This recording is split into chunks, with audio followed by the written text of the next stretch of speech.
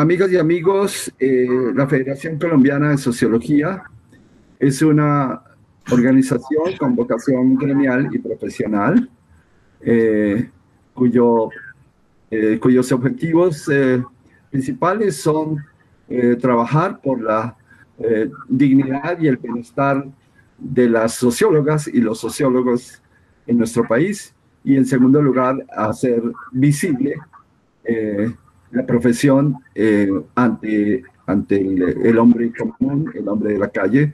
Por eso nuestros programas se diferencian de las eh, actividades estrictamente académicas eh, y, son, son programas de opinión. En este sentido, desde el año, desde marzo del año anterior, hemos venido desarrollando el programa Sociología al Día, eh, este, este año, eh, por razones ajenas a nuestra voluntad, hemos tenido un, pequeño break, una pequeña ruptura, eh, pero queremos reiniciar hoy con un tema con un tema excelente que nos compete a todos. Gracias a la virtualidad y al desarrollo cultural e intelectual de, la humanidad, eh, estamos mucho más cerca de, todos nuestros vecinos, de, los que estuvimos muy lejos en otro tiempo. Entonces, eh, quiero decir que hoy tenemos a, un, eh, a Luis Mendocilla, un sociólogo peruano, y la idea es pedirle una opinión de una manera muy libre sobre la coyuntura política del Perú eh, que eh, de algún modo arde en este eh, subcontinente suramericano por ese increíble empate electoral entre la señora Fujimori, que es del, del, partido Persa Popular, ¿sí? y el señor, el señor Castillo. Castillo, sí. Partido eh, Perú Libre. Del Partido Perú Libre. Del Partido Perú Libre, exactamente. Ese increíble empate. Eh, de cualquier modo, independientemente de quién gane, eso tiene problemas serios. Eh, y, y, lo interesante es que es una realidad muy extendida en el mundo actual el mundo político eh, acabó dividiéndose exactamente en dos mitades. Eh, eso pasa, eh, pasó primero en Colombia con el famoso plebiscito en apoyo de, la, de, las negociaciones de paz que ganaron por 10 votos. estoy hablando metafóricamente, ganó el no por, por 10 votos. eso pasó, pasó en en Estados Unidos eh, eh, y ha pasado en otras, en otras eh, latitudes. Y bueno, y acaba de pasar de una manera dramática en el Perú. Entonces, queremos hablar un poco sobre eso con Luis Mendocilla, digo, y quisiera que Luis nos dijera un poco primero cuál es su actividad de una manera muy, muy libre. Bien. Bien, muchas gracias Carlos. Buenas noches con todas las personas que, pueden estar este, viéndonos y escuchándonos. Eh, soy Luis Mendocilla Álvarez, soy sociólogo eh, de formación, eh, soy de la Universidad Nacional Mayor de San Marcos. actualmente, bueno, no solo actualmente, desde hace ya al menos dos décadas, me dedico básicamente, en mi campo de trabajo son dos aspectos. Eh, uno es eh, lo que es eh, los temas ambientales, socioambientales específicamente, y dentro de ellos, digamos, este, las cuestiones de conflictividad. Ese es un aspecto de mi actividad profesional.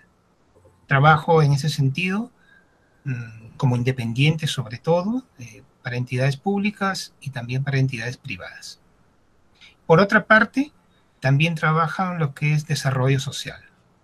O sea, lo que es, en ese sentido, bueno, es es, digamos, este, más clásico, por decirlo así, ¿no? O sea, lo, que es desarrollo social a través de programas, de proyectos, etcétera, ¿no? Entonces, en ese sentido, he trabajado y en ambas actividades, eh, de alguna manera, trabajo a la vez, ninguna las he descuidado, me ha permitido, entre otras cosas, conocer mi país extensamente. Para mí es algo importante. Eh, puedo decir que conozco solamente un departamento del Perú, me falta conocer solo uno de los 24 y, los he podido conocer, digamos, no solamente de una visión turística, digamos así, quien se va a las capitales de los departamentos, no, por el tipo de trabajo he, podido conocer este, comunidades nativas, comunidades campesinas, este, lugares rurales, muchos, muchas realidades. Ver el país en su amplitud, en su diversidad, en su plurinacionalidad. Eso lo considero yo algo importante porque eh, ese elemento, digamos, me da, eh, me hace tener muy en cuenta eh, la realidad del país. Eso te podría decir, Carlos, hasta el momento sobre mis actividades profesionales. Muy bien, Luis. Podríamos decir que tú has sentido el país. no solamente lo ves, sino lo sientes de manera total, eh, orgánica, por decirlo así, eh, no estrictamente en el sentido de Gramsci, pero, eh, en un sentido más biológico. Un sentido vital, creo, ¿no? Exactamente, un sentido existencial, vital. Maravilloso, eso, eso me parece maravilloso. Eso, eso es un sociólogo para mí. Eh, lamentablemente muchos de nosotros eh, no tenemos esa oportunidad y, y, hacemos otra cosa. En particular, pues, eh, bueno, los académicos, yo soy uno de, nos relacionamos más con, con la letra impresa y, y con la teoría y con los conceptos que, que, con el país, lo cual es, lo cual es lamentable en parte. Bueno, eh, todo se necesita, ¿no? Eh, claro, todo es necesario, por supuesto. Como decía Marx, sin teoría revolucionaria no hay acción revolucionaria. Bueno, pero eh, yendo más allá de eso, pues tenemos la situación actual del Perú. estaba buscando una noticia de la revista Semana recientemente que decía mm, era una noticia en, la, en, en, en, la primera página donde, donde dan unas noticias independientemente de los artículos de fondo. Y la, la noticia era sobre Petro, sobre el candidato Gustavo Petro de, de la llamada Colombia Humana y que eh, eh, concentra en este momento eh, las mayorías electorales pues por supuesto un año antes de la elección. Eh, muchas cosas van a pasar porque hoy eh, los tiempos son eh, vertiginosos. Es decir, que en un minuto todo puede cambiar. entonces decía, hay gente muy contenta, gente de la izquierda, con que Castillo haya ganado, pero tenemos que saber que lo que trae Castillo es la debacle social y económica. Eh, y eh, en el Perú la gente está retirando su dinero de los bancos ah, y, los, eh, y la inversión está cayendo, los inversionistas están, entraron en pánico, etcétera, etcétera. Y esa realidad dentro de un año va a ser patente y por tanto los colombianos eh, van a ver eso como un espejo, así como ahora se dice de Venezuela y, es el, el coco, eh, del, el, coco de que eh, em, esgrime la, la derecha para tratar de alejar al país de una opción diferente de las opciones de la derecha que durante este siglo XXI ha eh, gobernado en el país. Entonces, em, queremos, que, queremos, Luis, que, que, nos des tu opinión de un modo muy libre y extendiéndote y, yendo de, un lado al otro, así como has recorrido tu país. Bien, muchas gracias, Carlos. Con mucho gusto. A ver, voy a proponerles, a ver, rápidamente voy a pergeñar algunos puntos, que son cinco o seis, que me parecen este, importantes, porque de alguna manera, eh, como todo en la vida, este, cuando uno lo busca sentido, creo algo así, o sea, quiero contar una historia, es lo que quiero decir, ¿ya? Un poquito esa es la idea y entonces por eso necesito un comienzo y un final. Entonces eh, voy a contar una pequeña historia, de repente unos 10, 15 minutos a lo más me va a tomar, pero eh, en mi modo de ver, eh, para mí es importante en todo caso para poder expresar mi, mi, perspectiva ¿no? de la situación actual en el país. ¿Sí? Antes de ello también quisiera decir, este, voy a utilizar, así como tú has hablado, voy a seguir hablando de derecha a izquierda. Hago siempre la aclaración, eh, como he dicho hace un rato en cuanto a mis actividades profesionales, eh, no soy un analista político, no es mi especialidad, ¿sí? Eh, de todas maneras lo digo porque tiene que ver, ¿no es verdad?, con el tipo de, de análisis de alguna manera que se puede presentar. lógicamente hay elementos de diferentes personas que se dedican a ello. Eh, voy a dar un recorrido, digamos, por algunas eh, cuestiones que me parecen importantes para poder entender y evaluar de alguna manera lo que está pasando ahorita en el país. Eh, decía, bueno, eso y el, hecho de hablar de izquierda y derecha, efectivamente eso entiendo que es vigente. Para mí, digamos, este, utilizar los términos o las categorías se justifican siempre y cuando sigan teniendo anclaje en la realidad. O sea, siempre y cuando te sigan diciendo algo, tengan sentido, tengan un referente, ayuden a entender, etcétera, ¿no es verdad? Creo yo que todavía utilizar términos como izquierda-derecha lo tiene. Lo digo solamente porque entiendo que hay, pues, diferentes, no sé si teóricos, bueno, pensadores que, bueno, no, van por ahí, ¿no? Eh, eh, sin embargo, lógicamente, izquierda y derecha internamente tiene una gran diversidad, ¿no? Engloba muchas cosas, pero bueno, eso ya es otra cosa. A ver, quisiera hablar primero que nada, lo he puesto, digamos, en mis propias palabras, quisiera referir algunas cuestiones contextuales. Van a ser dos o tres que voy a rápidamente, más que todo, mencionar. Estoy en el entendimiento que, bueno, en términos genéricos, lo que estamos aquí compartiendo, somos sociólogos, entonces de alguna manera más o menos eh, debe haber algunos elementos comunes que vamos manejando, ¿no? Eh, lo digo porque no quiero como explayarme en algunas cosas y si fuera necesario, lógicamente voy a agradecer que me pregunten, ¿no? Alguna cosa para poder, este, poquito más eh, desmenuzarla. Decía yo primero algunas cuestiones contextuales, después quiero hablar un poquito del desarrollo de la campaña en segunda vuelta o sea, donde ya se enfrentan en segunda vuelta la señora Fujimori y el señor Pedro Castillo, ¿no? Después de ello quiero hablar eh, un poco los efectos sociales, un poco, ¿no? De, lo que va pasando ahorita. Después de ello, de los efectos económicos también, ¿sí? Y por último, quisiera, no sé si he puesto, digamos, como un título, una especie de perspectivas en lo inmediato y a corto plazo pero en lo inmediato en realidad, ¿ya? Porque este es un proceso que está caliente, está en caliente, está dándose, ¿no? Y, por eso, eh, bueno, eso es un poquito las cosas que quiero eh, compartir con ustedes. En primer lugar, quisiera referirme, así en general, así rápidamente, a algunas cuestiones contextuales, como yo decía, ¿ya?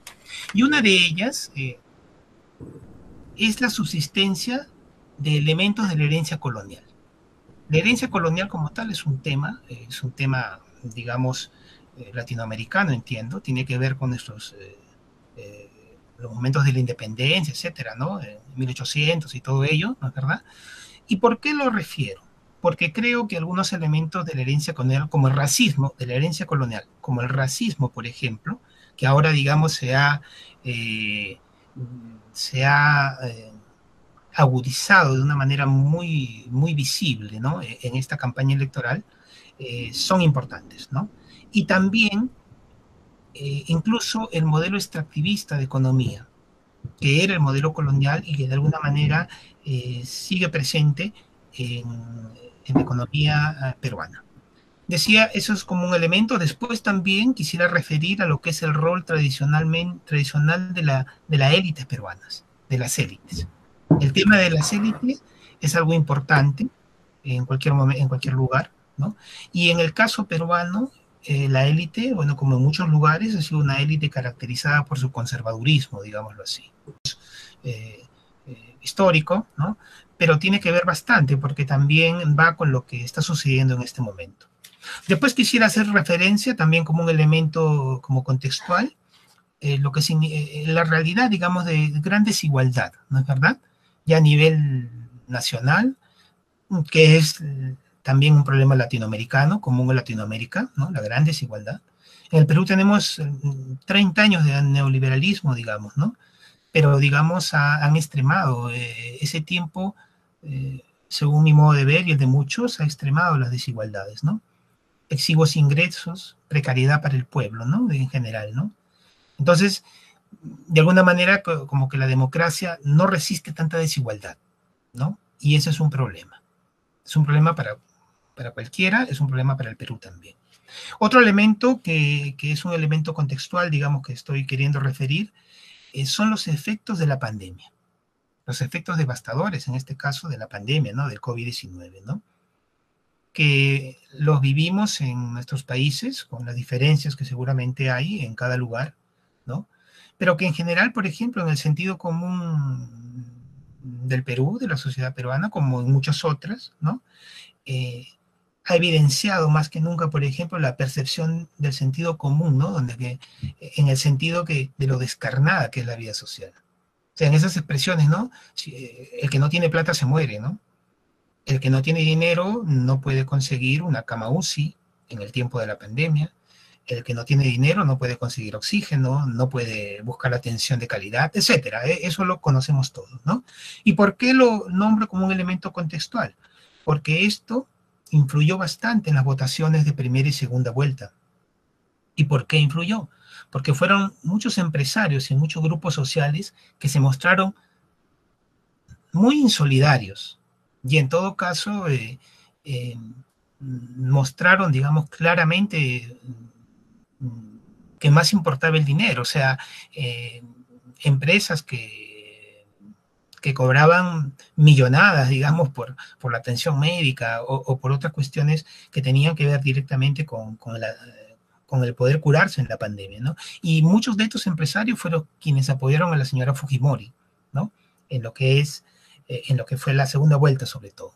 Entonces, en ese sentido.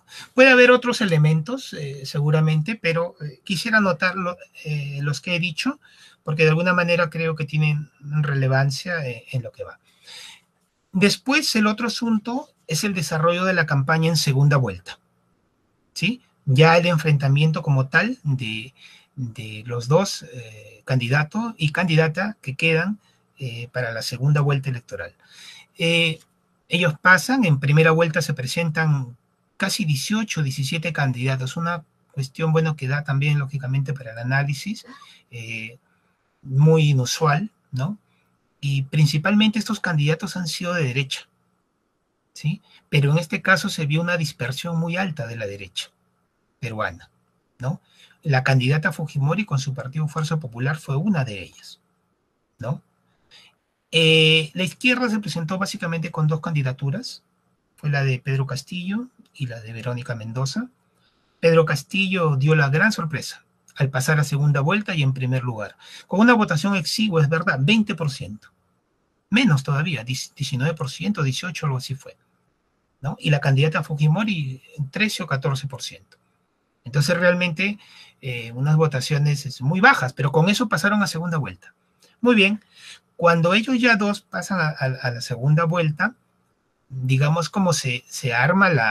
Eh, se comienzan a armar los grupos, ¿no? Las alianzas, en todo caso, se aglutinan todos los demás en, alrededor de estos dos candidatos, pero sobre todo alrededor de la candidata Fujimori, ¿sí? Alrededor de ella. Todos los partidos y no, no, o sea, eh, un aglutinamiento, una adhesión, en todo caso, como una especie de frente, ¿no? De derecha, eh, completamente explícito. No solamente los líderes políticos, eh, muchos de ellos apoyándola en sí, diciendo, expresando una adhesión, sino también realmente haciendo campaña por ella. Eso no se había visto antes de esa manera tan activa, ¿no? también en el caso de la derecha, digamos, este, el mismo Vargas Llosa el escritor, el premio Nobel peruano, ¿no? Se adhirió a ella, cosa que llamó la atención porque Vargallosa siempre había sido eh, un crítico muy ácido y muy acérrimo y muy directo de, Fujimori y lo que significaba, ¿no? En cambio, en esta segunda vuelta, eh, se tragó todos los sapos que tenía que tragarse y, la apoyó abiertamente. No solamente de al comienzo, sino también eh, en la propia campaña su hijo, uno de sus hijos de Vargas Llosa, que se llama Álvaro Vargas Llosa, eh, volvió al Perú para hacer campaña con la señora Fujimori, ¿no? Y Vargas Llosa la ha apoyado. Entonces, bueno, en la derecha hizo un gran frente, ¿no? Eh, en este caso, ¿no? Y por el lado de, por el lado de Castillo, la apoyó eh, el otro partido de izquierda que estaba con Verónica Mendoza. Muy bien, básicamente, ¿no? La primera encuesta que salió de intención de voto a la semana o algo así, de un mes, digamos, duró el interregno entre la votación de primera y segunda vuelta. A la semana después, eh, ya en la segunda vuelta, la primera semana, sale una encuesta donde Pedro Castillo aparece con más del 50, con casi el 60%, era una cosa impresionante, ¿no? 55%, algo así. Y Fujimori aparece muy retrasada, casi 20 puntos detrás. Entonces eso fue algo determinante porque y muy llamativo, ¿no? Eh, muy llamativo. Eh, porque de todas maneras, este, a pesar de que había sacado en un primer momento 20%, pero de todas maneras estaba ya, iba por más del 50%. Algo muy, eh, como digo, que llamó mucho la atención y se, sembró el pánico total entre la derecha, pero total. Y por ese motivo, seguramente comenzaron ellos a, agruparse, aliarse, hacer un frente de derecha muy claro, ¿no? La campaña que desató la derecha fue una campaña realmente atípica. Nunca se había visto eso. En las campañas anteriores se habían visto elementos, digamos, eh, lógicamente los medios básicamente son conservadores en el Perú, ¿no? Son privados, eh, casi todos, no salvo la televisión y la radio nacional, nada más, todo es completamente privado. Y siempre, digamos, los medios han, dado pues este preferencia a los candidatos de derecha, de alguna manera eso era, pero esta vez ha sido algo absolutamente descocado, ha sido algo brutal, no me, me quedo chico en el término. O sea, no solamente ya los programas políticos, los programas eh, cómicos, de espectáculo. Bueno, yo no veo, la verdad, mucha televisión, pero ha sido algo terrible. O sea, eh, conductores de programas esos, de concursos, en un momento se sacaban la camiseta y salía con el símbolo de la señora Fujimori. Era algo increíble, ¿no? Y, han perdido, o sea, han perdido en ese sentido la objetividad. Yo a eso también me refiero como, como de alguna manera la abdicación de la función pública de los medios de comunicación. Porque lógicamente cualquier medio de comunicación eh, tiene su derecho, todo, puede tener una línea editorial, una opinión, ¿no es verdad? Eso ya se sabe, pero debe hacerla expresa, ¿no? Debe hacerla expresa y diferenciar la opinión de la información. En este caso, el grupo El Comercio, el grupo El Comercio el comercio es como el tiempo allá, ¿sí? Eh, por antigüedad más o menos es parecido. Pero el comercio, no sé si el tiempo está en eso también, pero el comercio no es solo el periódico El Comercio, que es un periódico más que centenario en el Perú.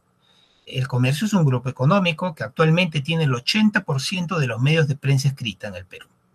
Tiene el comercio, tiene varios periódicos más, eh, de otro formato, formato popular, el Trome, el Ojo, eh, y en fin, algunos otros más, tiene varios, ¿no? Pero tiene el 80% de la prensa escrita, eso es increíble, eso, eso no es democrático, ¿no? Y se ha demostrado nuevamente. Aparte de ello, el comercio es accionista mayoritario en los dos principales canales de televisión peruanos. Y aparte de eso, el comercio eh, mm, tiene intereses en otros sectores, como la construcción, ¿no? Entonces, es un grupo muy poderoso. El comercio absolutamente eh, se alió y ha apoyado a la señora Fujimori.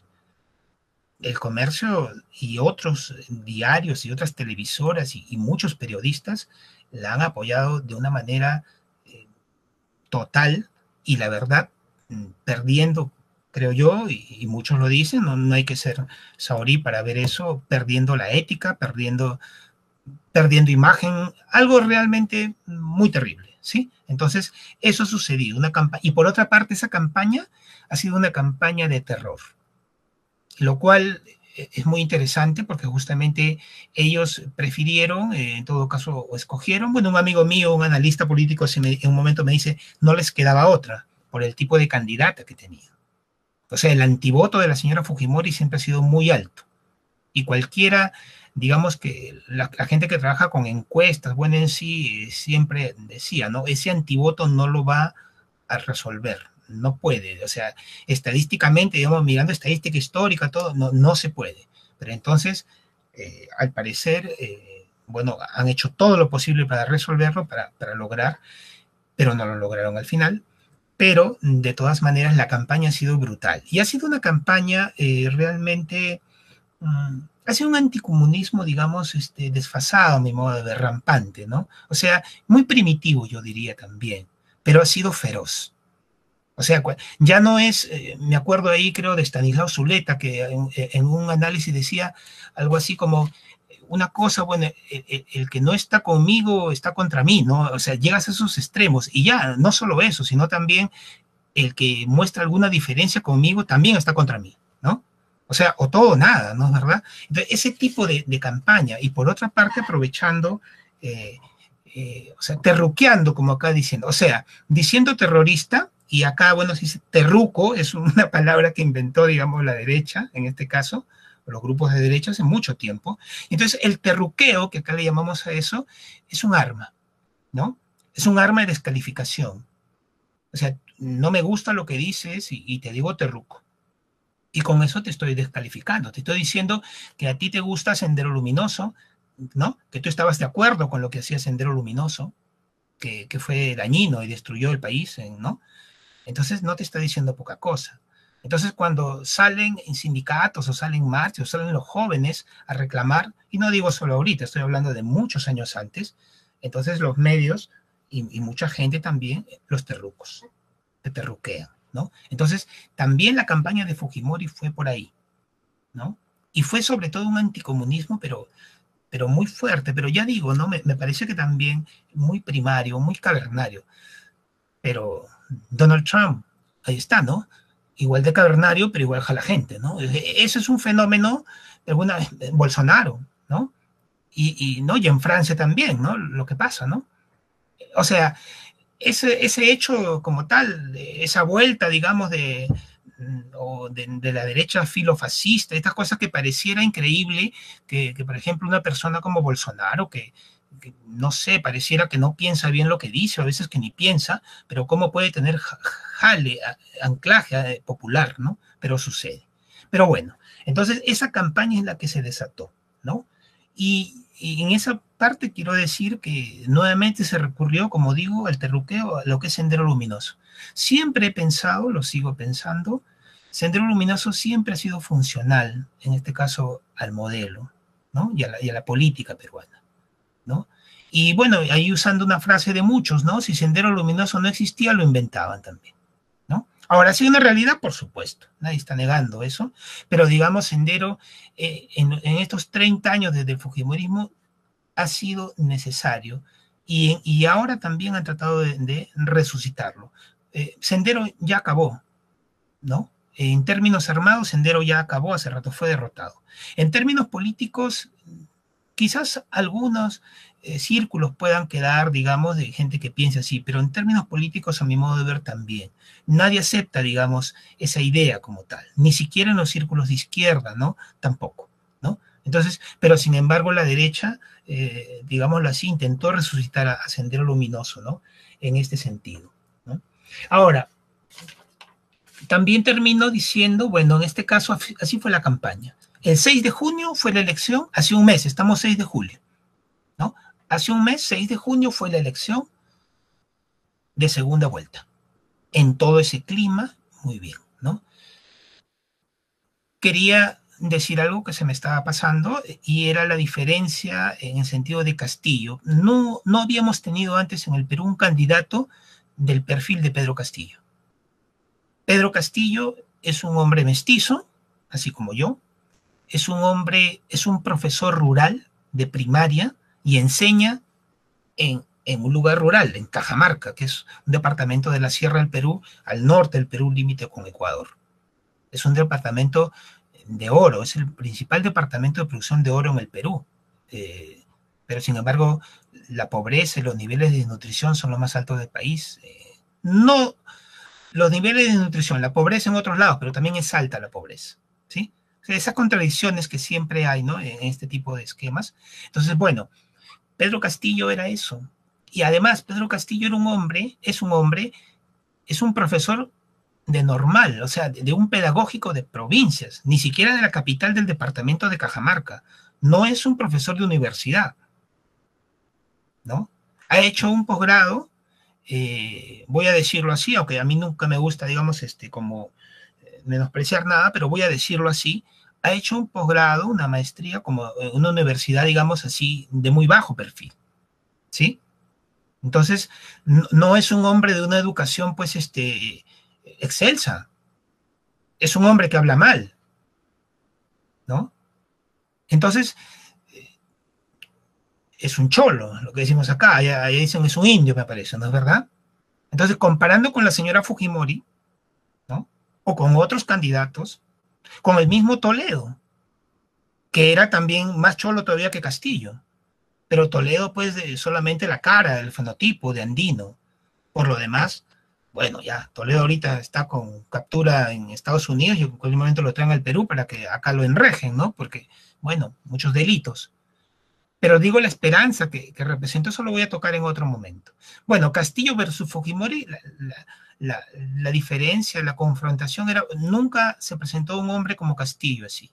Y en la campaña y en los debates y en las cosas que, que sucedían y que se iban dando, se burlaban mucho de Castillo la derecha se burló mucho de Castillo. No sé si eran conscientes que al burlarse así de Castillo, de su habla y de muchas cosas más, se estaban burlando pues de mucha gente en el país, ¿no? Que, está más o menos en ese perfil de Castillo o inclusive menos, ¿no? Pero bueno, es otro asunto. Gana el 6, hace un mes, gana la elección Castillo, gana por solo 44 mil votos de diferencia. ¿Cuánto es eso? El Estadio Nacional de Lima tiene 45 mil espectadores. Un estadio, como el Campín de Bogotá. Algo así. ¿No? O sea, un estadio de diferencia. Por eso gana. ¿No? Entonces, bueno, la, realidad ahí eh, pintó muy feo para la señora Fujimori y allí ya comienza la otra parte, ¿no? Este, su reacción, la estrategia, voy a decir, post votación de segunda vuelta. Básicamente, ¿cuál fue?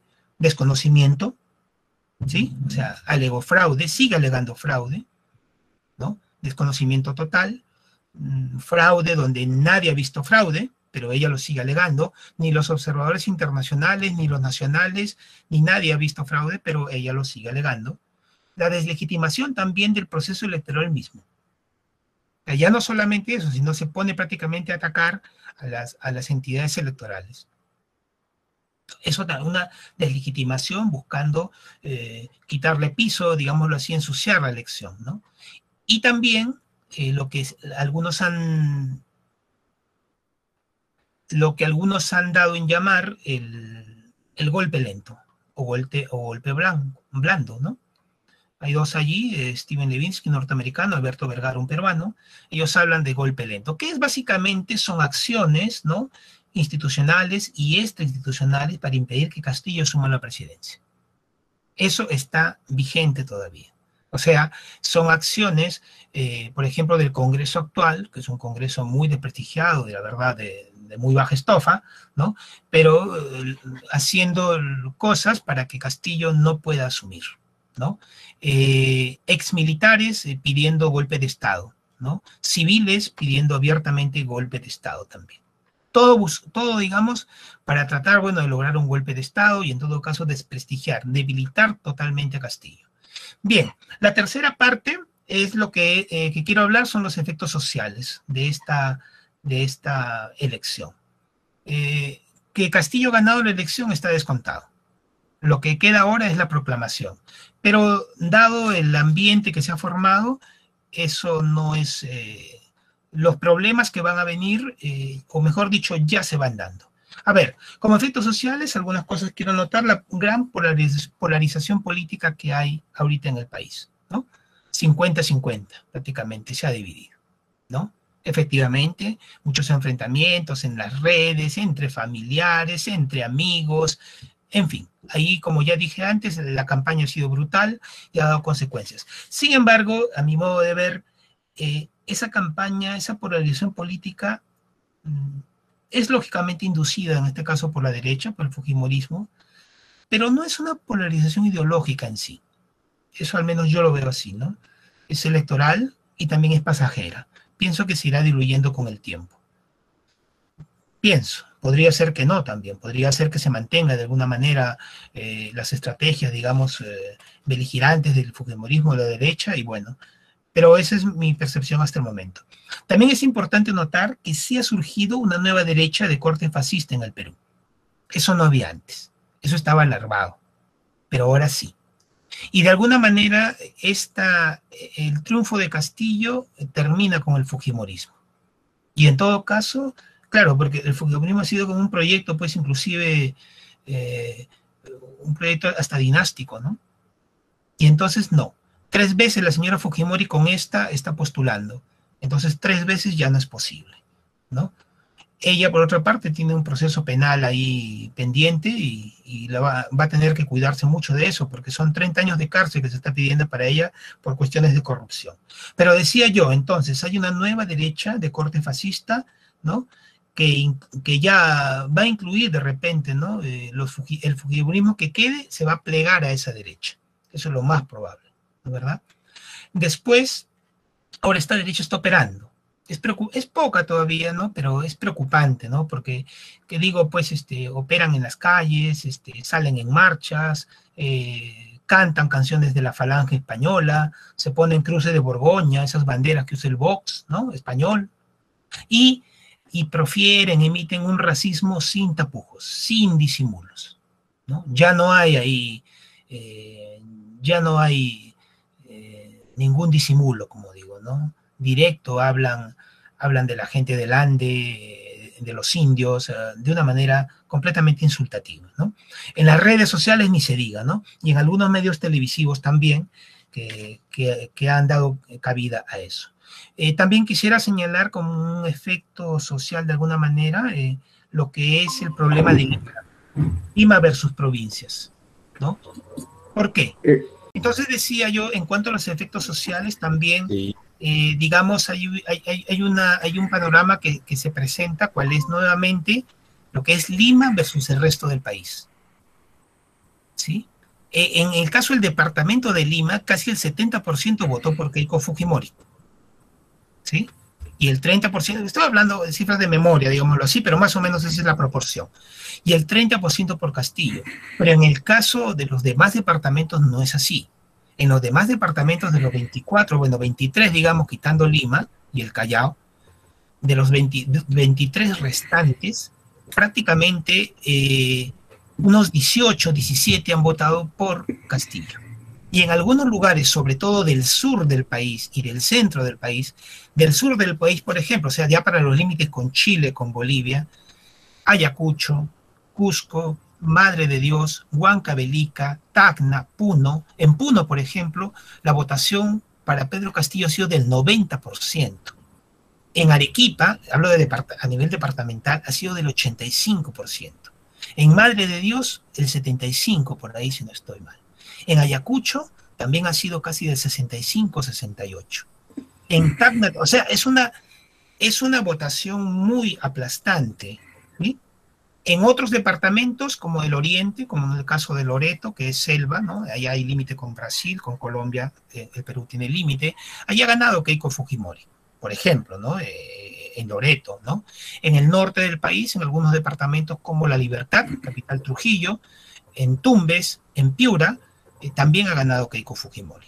¿sí? Pero, como digo, eh, de los, o sea, debe haber ganado, aparte de Lima, en unos seis o cinco departamentos más, nada más.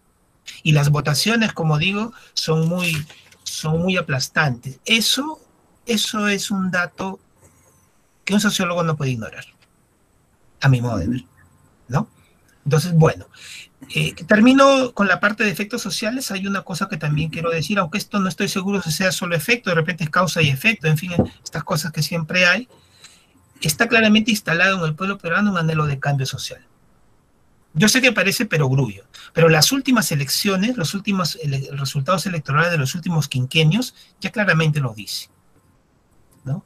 Fujimori tres veces, no, perdió con Kuczynski la última vez, bueno. Pero antes Ollantumala, antes Toledo, antes García y antes otros más. O sea, de todas maneras, yo identifico ahí, hay, hay, un, hay un anhelo de cambio muy importante. Y eso es lo que Castillo representa, a mi modo de ver. ¿no? Ah, Castillo representa, hay un hartazgo de la gente. Por eso decía al comienzo, a, hablar de cuestiones contextuales, o sea, eh, la democracia no puede funcionar así, con tanta desigualdad. Y de alguna manera esto es una expresión de, ello, ¿no? A, mi modo de ver. Por último, no por último, en todo caso, los efectos económicos. A ver, para tratar de cortar allí. Hay, efectivamente, Carlos, también algo creo que referías al comienzo, hay la idea de la, parte de los, de los, empresarios peruanos, ¿no? Que lógicamente han estado a favor de Fujimori, ¿no? Hay la idea, eh, digamos, esto del comunismo, de las expropiaciones, todas estas cosas, ¿no? Y también, lógicamente, de la precariedad que significa Pedro Castillo, ¿sí? Porque no se va a negar, no se puede negar que Pedro Castillo, eh, para comenzar, él no, eh, él no pensaba pasar la segunda vuelta, ¿sí? En ese sentido, él, es, él es, digamos, pudo ser otro, ¿sí? Pero él no pensaba pasar. Prácticamente lo ha llevado la expectativa del pueblo, estas cosas, no me acuerdo cómo lo dicen en los análisis de esto, ¿no? Pero él ha pasado a segunda vuelta, no lo pensaba. Y por ello también, al, pasar a segunda vuelta, se desnuda de alguna manera sus falencias. Su programa económico del partido que lo lleva, aunque él no es comunista, él es evangélico incluso, y él militó en el partido de Toledo como 14, 13 años antes. Lo cual, claro, por ejemplo, decía en la propaganda, ¿no? que era comunista, que era ateo, y la cosa religiosa, igual que, que allá en el sí, el no, se metió de una manera horrible, o sea, todo entrado, ¿no? Igualito. Y a mí me daba que ver, yo, yo he sido catequista antes en mi tiempo de juventud, tengo muchos amigos muy, muy queridos hasta ahora, ¿no? y que ateo a veces solamente le decía, pero él es evangélico, le decía, no es ateo, le decía. Pero en fin, de todo, ¿no? ¿Verdad? Entonces, decía yo, se se ha desnudado tiene muchas precariedades, hay muchas incógnitas sobre Castillo, sí. Eso no, no se puede desdeñar, ¿no? ¿Qué ha hecho Castillo, sin embargo? Ha, de alguna manera, ha dado tranquilidad, eh, asegurando, digamos, en algunos ministerios, en todo caso, ha ido adelantando el concurso de algunas tecnócratas de izquierda, ¿no? Gente de izquierda, conocida, eh, más o menos, bueno, educada en el extranjero, estas cosas, ¿no? Que hay en todos los países nuestros, ¿no es verdad? También ha asegurado de alguna manera lo que es este, algunas entidades como el Banco Central de Reserva del Perú, que tiene que ver con la estabilidad de la moneda y, con el crédito, estas cosas, ¿no es verdad? Eh, es un punto muy importante. Hay un señor allí que está ya casi como 14, 15 años en el puesto, parece que lo hace bien en, términos de, del modelo, ¿no? Entonces, él le ha propuesto que siga, ¿no? Entonces, de alguna manera, eh, está tratando de dar signos de, tranquilidad para las personas, bueno, que para, los empresarios, ¿no? Por otra parte, el gremio empresarial más importante del Perú, que es la CONFIEP, ¿sí? La Confederación de Instituciones Empresariales Privadas del Perú, ¿no? No me acuerdo cómo se llama el símil en Colombia, pero la CONFIEP al menos no se ha expresado institucionalmente en esta segunda vuelta, lo cual es muy importante, porque antes sí lo ha hecho, en elecciones anteriores pero esta vez no lo ha hecho. De todas maneras es importante, claro, los empresarios a diferencia, ellos tienen que subsistir con cualquier gobierno que sea. Y eso es una característica, porque ellos hacen negocios todos los días, día a día. Entonces ellos tienen que estar. Eso en la dictadura de Velasco Alvarado en 1969 hasta 72, 73, ellos estaban también ellos están siempre porque están haciendo los negocios día a día y por eso también, ahora inclusive el jefe de la CONFIEP, digamos, se ha mostrado muy cauto. Lo que ellos seguramente esperan, sería lo normal, es, es ver que Castillo, bueno, no eh, inicie, digamos, este, reformas que sean este, totalmente disruptivas, ¿no? Totalmente eh, eh, suicidas, ¿no? Que, que, hieran el modelo, digamos, ¿no? de, una manera ya, eh, digamos, insalvable. Pero creo que hay también una percepción sobre que tampoco puede quedar así nomás, o sea que Castillo tiene que hacer algo, o sea, algo tiene que cambiar, porque ese es el mandato que la gente ha dado. No importa, la, la diferencia es un estadio nacional, ya lo digo, pero es lo que ha ganado. Bien, también quería decir que en cuanto a la parte económica, eh, el gobierno actual, estas son predicciones simplemente, ¿no? Eh, hace unos días el ministro de Economía eh, estaba diciendo que en los próximos tres años se prevé que el Perú siga recuperándose de, los, de las malas cifras de la pandemia, que el PBI en los próximos tres años siga creciendo, digamos, a un ritmo interesante y algo así. Pero en realidad los efectos económicos se van a ver con las primeras medidas que Castillo dé, ¿no? Por ejemplo, él piensa, o parte de su programa, ¿no? Eh, lo que es este, negociar con las transnacionales, ¿no? Que básicamente ven pues los recursos, bueno, estamos hablando de, proyectos extractivos, ¿no? Gas, petróleo, eh, etcétera, ¿no? Pescado, eh, bueno, el Perú tiene, y otras industrias, ¿no es verdad? minería, Perú es un país minero, ¿no? Entonces, eso es un, un aspecto. La otra cosa también es lo que tiene que ver con las variaciones en la política impositiva. Ya les ha dicho que no les va a poner más impuestos, pero también al pueblo le ha dicho que va a hacer algo así. O sea, eh, hay, eh, Castillo eh, va a tener siempre que estar jugando allí, ¿no? con uno y otro. Por otra parte, también está lo que es la promoción de algunos sectores tradicionalmente postergados, ¿no? Como la pequeña agricultura en el país. Al parecer eso es caro para Castillo y es muy entendible. Él es un profesor rural, pero a la vez es un agricultor. En su campaña, en su campaña política de segunda vuelta, él aparece eh, a la vez que es profesor, pero también es agricultor, tiene su chacra, el hombre aparece allí eh, cultivando la tierra, ¿no? Y al parecer eso le dio mucho, mucho cariño con la gente, con los votantes. Termino diciendo algunas palabras sobre algunas perspectivas en lo inmediato o a corto plazo, algo así, digamos, ¿no? se me ocurre en todo caso como referir eh, cómo lo veo, ¿no? Eh, primero, creo que la derecha ya lo está haciendo, va a intentar debilitar a Castillo, Lo más que pueda, va a intentar convertirlo en otro Ollantumala.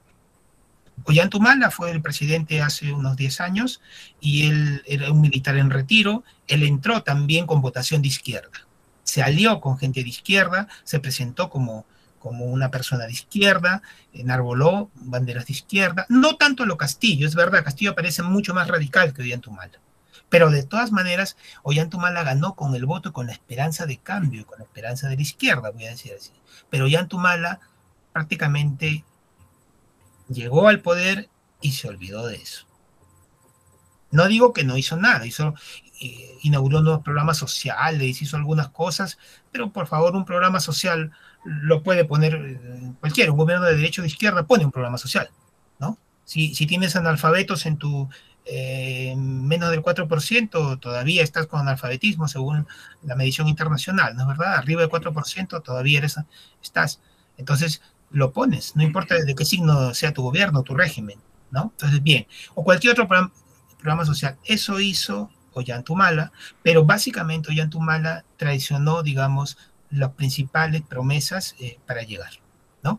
Entonces, eso es muy probable y ya se está haciendo que la derecha intente con Castillo. Vamos a ver qué pasa.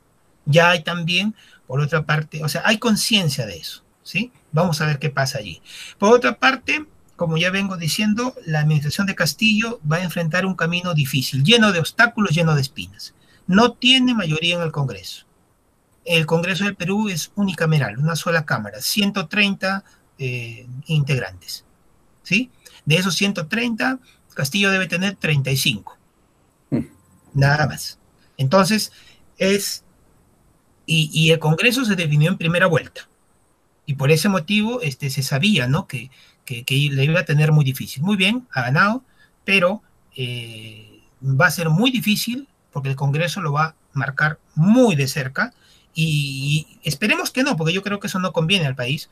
Si el Congreso se vuelve una oposición irracional, como para querer que fracase en todo, eso creo que tampoco sería bueno. Ojalá que no tome el Congreso esa, ese camino, porque eso tampoco es conveniente para el país, ¿no? Y lo que pasa es que en ese Congreso prácticamente hay una coalición de derecha que es prácticamente la que ha apoyado a Keiko en segunda vuelta, a Keiko Fujimori. Entonces, por eso hay, hay, esa realidad, puede ser, ¿no? Y dentro de ello, incluso, uno de los objetivos no disimulados ya por, por la oposición a Castillo es vacarlo. Así como vacaron a Kuczynski, ¿no? Y lo vacó Keiko Fujimori, ¿no? Pero ha tenido tantos presidentes seguiditos, ¿no? En los últimos años, ¿no? Es una de las intenciones del Congreso y del Congreso que ya entró, ¿no? Es vacar a Castillo. Él lo sabe. O sea, la primera que pise mal, ¡pum! Mina. Entonces van a intentar vacarlo, ¿no? Entonces la tiene así. Por otra parte, eh, hay otro asunto también que es importante, lo cual es el cambio en la Constitución. No digo necesariamente a, la chilena, que está pasando ahorita, ¿no? El nombrado, está en un proceso ya, han nombrado a su asamblea constituyente, ya comienzan, han nombrado a una indígena mapuche, ¿no? Como la presidenta de la asamblea constituyente chilena, lo cual es muy relevante, ¿no? Pero en fin, el Castillo lo ha dicho, era una de sus promesas de campaña cambiar la constitución y sobre todo cambiarlo en los capítulos económicos, porque la constitución peruana es de 1993, es producto del golpe de Estado de Fujimori, ¿no? Y en ese sentido sí hay muchas cosas que cambiar. Tiene un artículo como el 62. El 62 tiene algo que no sé si otras constituciones del mundo la tienen, creo que no. Son los contratos ley. Lo que significa que eh, se firman contratos, sobre todo con grandes empresas, estoy hablando transnacionales o nacionales, ¿no? No lo puedes cambiar, porque son contratos ley. No puede cambiarlo con nada.